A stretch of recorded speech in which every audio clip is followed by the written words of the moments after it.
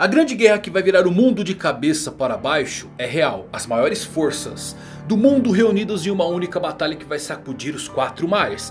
E os Chapéus de Palha estão estabelecidos definitivamente como uma tripulação do nível de um imperador. Seus níveis de força não devem ser nada abaixo disso. Luffy disse que iria ultrapassar Shanks o Ruivo e a sua tripulação. Dita por ser a única inexpugnável, que não se pode vencer pela força. Então, como os Chapéus de Palha vão se sair no final de tudo? Quais poderes finais certamente eles vão ter? E quais são as grandes possibilidades de aparecerem? Quer saber os poderes finais da maior tripulação pirata de todas? Liga que eu vou falar nisso agora.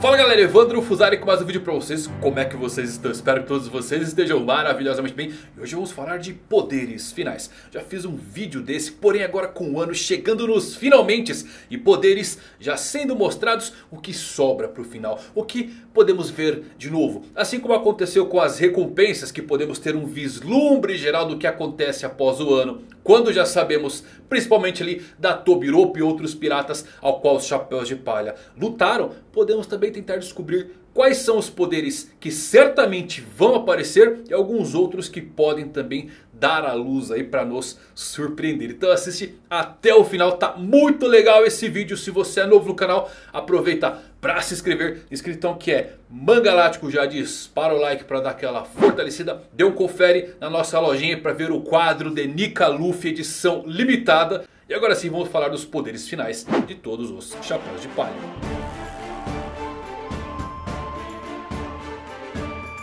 Então bora lá pior geração, vamos começar com Nami que olha só já conseguiu seu power up final aqui em um ano que é Zeus. Ele aparentemente se fundiu com seu clima tact, tornando o bastão de Nami ainda mais perfeito. E como ela não fez uso desse poder total, certamente os poderes finais da nossa bruxa do tempo vão envolver novas possibilidades de controle climático que ela possui agora. Se quiser adicionar algo a mais, Talvez aqui de observação seria interessante por conta das navegações. Mas como não é capaz de criar uma tempestade sobre um país inteiro agora. Seus danos em área ignoram qualquer possibilidade de um inimigo escapar dos danos. Já Chopper é talvez o que mais precise mostrar novos poderes. Não que ele seja um lutador direto, assim como Nami também não é. Mas ele é o que menos mostrou em questão de força o que pode fazer Pro final da série certamente ele vai mostrar o seu despertar verdadeiro de Akuma no Mi. O Monster Point alcançado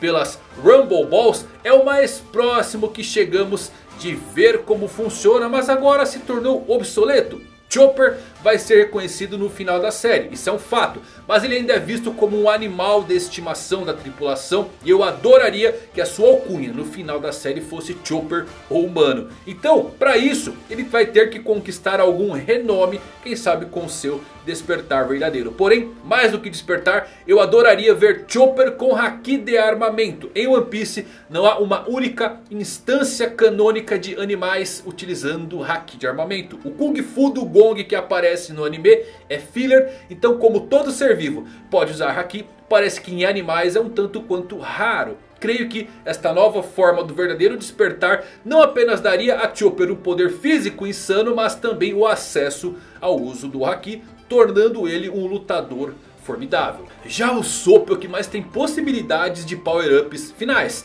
Kabuto pode ser revestido com Kairos aqui ou mesmo munições feitas desse material. Vegapunk também é uma possibilidade bem real de mesclar uma Akuma no Mi, a arma do nosso atirador, o que seria simplesmente incrível. A ideia que eu mais gosto também vem do arco prenunciado por ser o do Usopp, o da ilha de Elbaf, que é fortemente inspirado por toda a mitologia nórdica, porque temos o príncipe de Elbaf sendo chamado de Loki, filho adotivo de Odin e o mais importante, irmão de Thor, o portador do Mjolnir. E como vemos, o uso de martelo por Usopp em todas as suas lutas, principalmente antes do time skip. E vimos ele sempre evoluir gradualmente em tamanho, em peso. Seria incrível ele ter uma arma lendária. O Mjolnir tem o poder de invocar raios e trovões. E o mais importante é que ele tem uma inscrição nele. Um tipo de encantamento que apenas aqueles que são dignos poderão levantar o martelo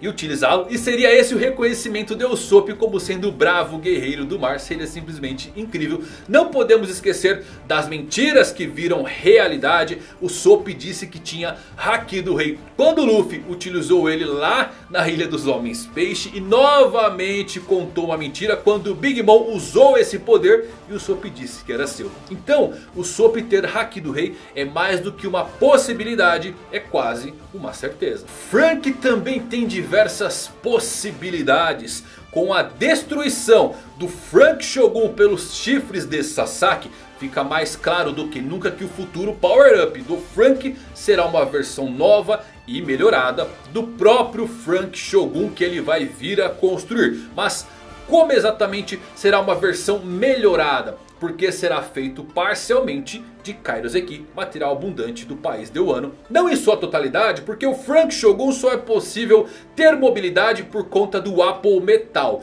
Vale lembrar que as plantas de Pluton podem ser utilizadas de forma parcial nesse novo robô. É fato que Frank tem potencial de conseguir um poder capaz de destruir ilhas inteiras. Haki de armamento seria um bom adicional, mas eu acho que seria muito legal ele conseguir fortalecer seu corpo e mesmo atualizar seu campo de visão com alguns níveis artificiais que replicam a dureza do Haki ou a leitura do campo de observação. Tudo isso com a sua tecnologia. Seria interessante, quem sabe até mesmo o Frank Shogun se tornasse mais simplificado. E Frank o vista como uma espécie de armadura. Atualizando seu traje para incorporar Kairoseki indestrutível, pelo menos nos seus punhos. Nico Robin tem uma das frutas com maior potencial de toda a série. E é garantido, eu aposto que ela vai obter o despertar simplesmente florescendo em objetos ao redor, tornando o ambiente todo seu território e claro, personificando também o demônio de Ohara. Os poderes de Robin são os com maior potencial, porque se ela também ganhar Haki de armamento, ela pode replicar golpes poderosos e parecidos com o que vimos Katakuri usando. Podemos até ter um vislumbre da potência da sua fruta contra Black Maria. E claro, vemos a vulnerabilidade dela também. Porque os danos causados aos membros gerados pelo fruto da Robin. Ela também acaba sentindo. Então o Haki de armamento tornaria ela tão insanamente poderosa que é difícil mensurar para onde seu nível iria. Some o fato de que o despertar da sua fruta do diabo daria a ela a capacidade de criar cópias físicas em grande escala em tudo que ela toque, pronto, teríamos um exército de uma mulher só que pode fundir tudo isso em uma Robin gigante. Brook também interessante, 99% do arsenal pós-time skip do Brook gira em torno dos seus poderes de Akuma no Mi. E ele é o que mais desenvolveu seu fruto porque ele mostrou várias novas aplicações, deixando um pouco a sua esgrima em segundo plano. Então naturalmente acredito que o seu próximo power up poder final será ele despertando sim a sua Akuma no Mi. Ele teve seus poderes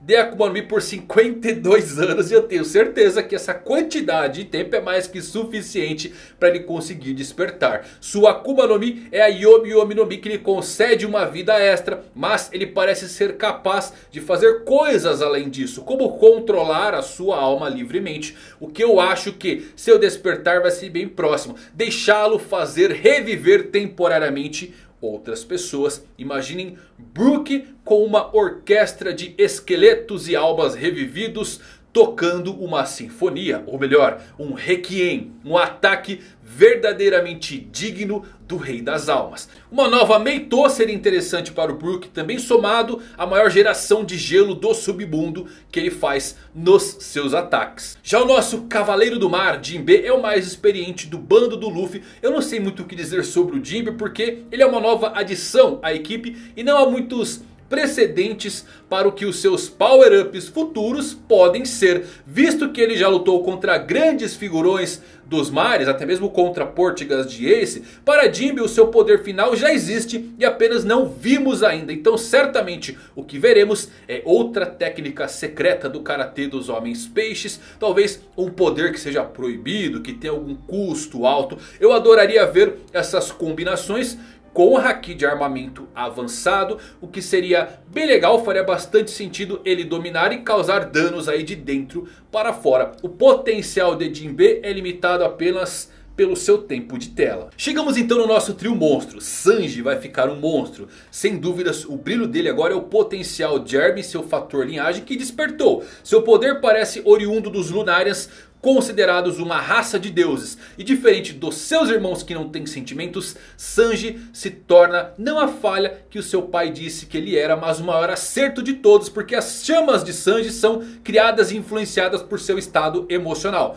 Quanto mais um sentimento aflora, mais quente é o seu fogo. Recentemente foi confirmado que ele cria as infames chamas azuis. Então um passo além seria a criação das infames chamas negras. Que são marcas registradas em diversos animes e seria algo incrível. Chamas negras se encaixam esteticamente bem com Sanji. Casando bem com sua alcunha de perna negra. Bem como seu traje de batalha que era chamado também de preto furtivo. Sem mencionar mencionar que o armamento de Haki é frequentemente retratado com a mesma coloração preta. Então essas chamas podem ser o resultado disso, criando quem sabe uma nova tonalidade. O seu Ifrit Jumbo já é uma nova combinação alcançada somente por Sanji. E ele tem tudo para se tornar um dos personagens mais fortes da série The One Piece. Ainda mais se aprender Ryuou. Porém, um poder que é certeza vermos no final é o Haki de visão futura. Porque ele é o mais proeficiente no uso de Haki de observação. Sanji também tem grande potencial para desbloquear o Haki do Rei. Com diversas dicas deixadas ao longo da série. E isso também deixaria a tripulação do Luffy equiparada aos piratas Rocks e aos piratas Roger. Bom, Zoro não vai ficar atrás. Como Sanji, ele também é uma das asas do Rei Pirata. Poderes finais que certamente veremos em Zoro inclui as lâminas negras. Este é definitivamente o poder final que Zoro vai conseguir. Porque representa o auge da esgrima e é muito raro. Para deixar tudo mais incrível seria ideal ele ter as três lâminas negras para o seu duelo contra Mihawk. Um novo poder extra também seria quem sabe uma nova espada. Eu creio que a Sandai Kitetsu já ultrapassou suas boas-vindas. E Zoro a substituirá por uma espada de grau superior. Já que a Sandai é muito baixa na escala das Meito. A Nidai Kitetsu é uma escolha bem óbvia e segura. Mas acho que há uma chance real de outra espada surgir. Quem sabe Zoro conseguindo a lendária Kusanagi no Tsurugi. Uma espada que pode quem sabe ser forjada em Wano. E essa espada para o Japão é como uma Excalibur. É a espada que em mitos cai da cauda da Yamata no Orochi. Seria insano o Zoro ter uma espada forjada só para ele. Certamente ele também vai utilizar o revestimento do rei com proeficiência. Então ele vai chegar em níveis altos do uso uso de Haki. Temos o mistério do seu olho ainda em aberto. E claro, Zoro nem mesmo se lembrou de nada do que aprendeu no seu treinamento no time skip. Então temos o potencial de novas técnicas inéditas ainda não vistas. E para fechar, nosso Lufão. Ele despertou o seu fruto e agora seu poder é limitado apenas pela sua imaginação. Nika Luffy é incrível. O seu poder final pode ser relacionado às chamas. Dando ênfase em por que Nika é chamado Deus do Sol. Saindo um pouco desse lado metafórico da libertação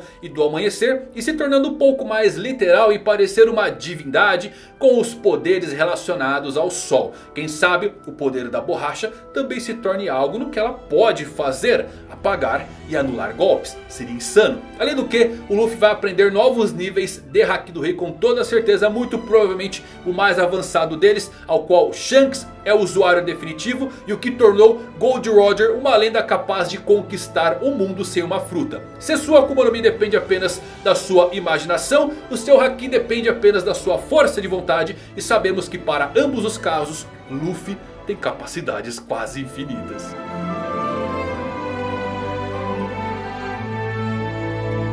E é isso meus amigos, esses são os poderes que eu acredito que veremos no final da série. Ah, e o Sunny vai ter um poder, claro, pô, o Sunny vai virar Pluton, aquelas plantas que o Frank queimou, certamente ele decorou, tirou uma foto ali com o olho, sabe? Então ele vai, vai usar essas plantas em algum, ou no Frank Shogun ou então no Sunny. Eu adoraria ver o navio do Chapéu de Palha sendo uma contramedida para o verdadeiro Pluton que pode cair nas mãos erradas. Temos as possibilidades de novos membros também. Yamato, Carrot, até o Momonosuke pode acabar entrando no bando aí para a última jornada. Aí fazemos um novo Vinitão com os poderes atualizados. É isso. Espero que vocês tenham gostado desse vídeo. Se tiver alguma ideia de um novo poder, por favor, deixe aqui nos comentários. Se você gostou desse vídeo, então deixa um like. Até a próxima. Valeu por assistir. Fui!